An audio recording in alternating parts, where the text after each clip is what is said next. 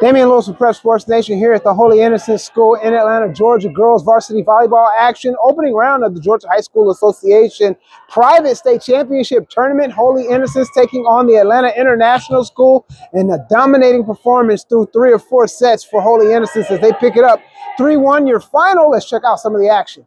Set one is going to be the Golden Bears jumping out to a 3-0 lead here after Harley Ward on the serve gets the ace. Eagles misjudging placement on that one later on. Lauren Helmer's hit finds the right spot.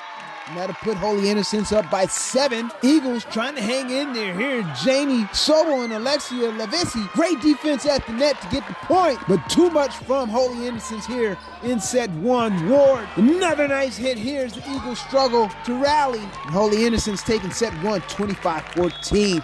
Got a battle on our hands in set two here. It's the Eagles going up by two. It's Claire Hobbs hit doesn't quite make it over the net. 3-1 lead for Atlanta International School. And then the Golden Bears jumping up by two as Alexa Grossman's hit doesn't have enough on it. And Bears get the point, but the Eagles soar back on top. Irene Garcia Pardo setting up Lily Glass nicely here. Glass getting the point. Eagles up one. And then the Eagles getting some great play at the net once again.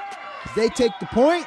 And they go up 21-19. Set point. Grossman on the serve, and Grossman kind of lobbing it over the net. Golden Bears can't rally, and the Eagles take set two, 25-19. But in sets three and four, Holy Innocents getting back to dominating here, jumping out to a 12-4 lead. Haley Swain's kill deflected out of bounds off the Eagles. And then set point. And too much strength on that one from the Eagles. Holy Innocents takes set three, 25-10.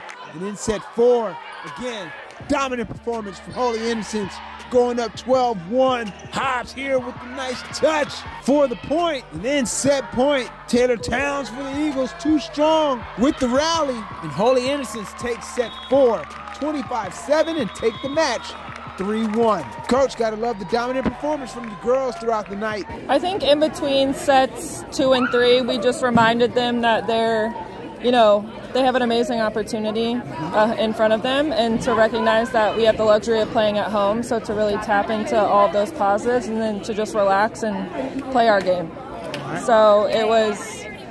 I think it went well after that because they came out and fortunately really dominated, like you said, the third and fourth set. All right. Yeah. What did you see uh, overall tonight that you really liked, and what do you want to see the girls work on as you get ready for round two? Uh, I thought we served really, really well. We had a lot of key aces um, at really important times, and then things that I think moving forward we need to work on is just to remain confident in ourselves and recognize that every single round is going to be a battle, but that's what we want.